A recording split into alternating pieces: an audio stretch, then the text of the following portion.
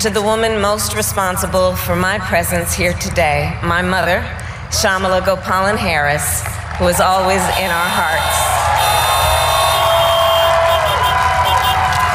Uh, when she came here from India at the age of 19, she maybe um, didn't quite imagine this moment. But she believed so deeply in an America where a moment like this is possible. And so I am thinking about her and about the generations of women, black women,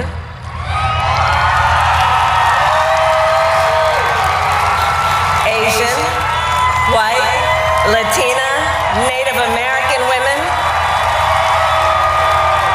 who throughout our nation's history have paved the way for this moment tonight. Women who fought and sacrificed so much for equality and liberty and justice for all including the black women who are often, too often, overlooked, but so often prove they are the backbone of our democracy.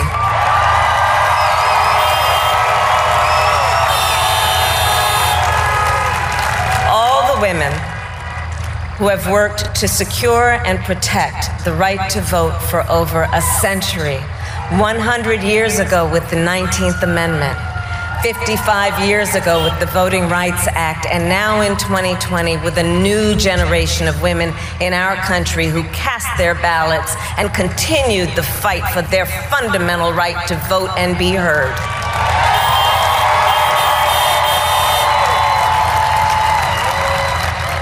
Tonight I reflect on their struggle, their determination, and the strength of their vision to see what can be unburdened by what has been. And I stand on their shoulders.